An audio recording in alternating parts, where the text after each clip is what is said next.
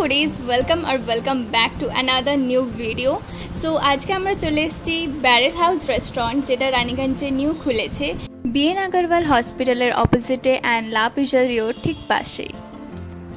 জায়গাটা বেশ ভালো সাজিয়েছে সিম্পল ইয়েট এলিগেন্ট তোমরা এখানে ফ্রেন্ডসের সাথে এসে একটা সুন্দর টাইম কাটাতে পারো। তো, আজকে আমরা এখানে চাইনিজ ট্রাই করব বিকজ আমি এখানে চাইনিজটা শুনেছি, খুবই ভালো বানায় আর খুব অ্যাফোর্ডেবল রেট লেট সি এদের এখানকার চাইনিজটা কীরকম টেস্ট হয়। সো এটার ঠিক বাইরে এরা নিজস্ব মশালা কুলচা নান এখানে সব তৈরি করে।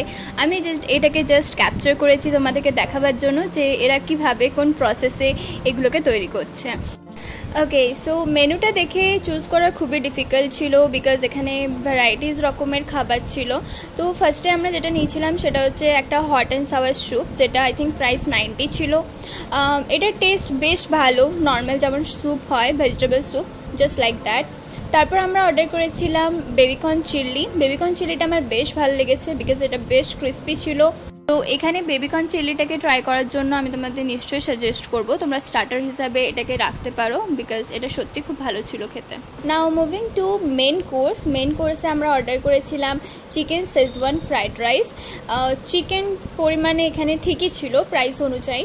চিকেন সেজওয়ান ফ্রাইড রাইস আমি এর আগেও অনেকবার খেয়েছি বাট এটার টেস্টটা আমার সেরকম লাগল না।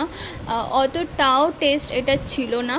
এটার সাথে আমরা যেটা নিয়েছিলাম সেটা হচ্ছে চিকেন ব্যাং ব্যাং যেটা এখানে আমাদের সাজেস্ট করা হয়েছিল যে এটার সাথে এটা বেস্ট কম্বো বাট এই যে চিকেনটা আমরা নিয়েছিলাম, সেটা হচ্ছে মোর লাইক স্যুপ এটার সাথে চিকেন সেজওয়ান ফ্রাইড রাইসটা একদমই যাচ্ছিল না।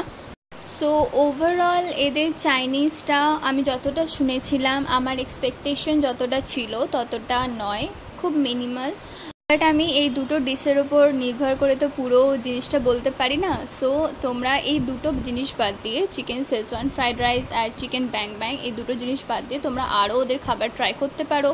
এখানে যেমন স্যুপ বেবিকর্ন চিলি এই দুটোই আমার বেশ ভালো লেগেছে। অ্যাকর্ডিং টু দ্য প্রাইস এগুলোর টেস্ট ভীষণ ভালো ছিল। তো এই দুটো তোমরা নিশ্চয়ই ট্রাই করতে পারো। তোমরা যদি এখানে কেউ ভিজিট করে থাকো, আর কোনো খাবার যেটা তোমাদের খুব পছন্দ হয়েছে, সেটা তোমরা আমাকে নিচে কমেন্টে জানাতে পারো। পরের বার গেলে সেটা আমি নিশ্চয়ই ট্রাই করব। ভিডিওটা ভালো লাগলে একটা লাইক করে দিও অ্যান্ড সাবস্ক্রাইব ফুড ইনু ফর আপকামিং মোর ভিডিওস